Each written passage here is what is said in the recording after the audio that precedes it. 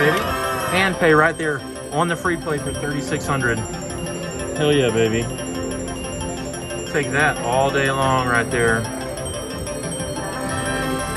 On the free play, baby. Still got $905 left in free play.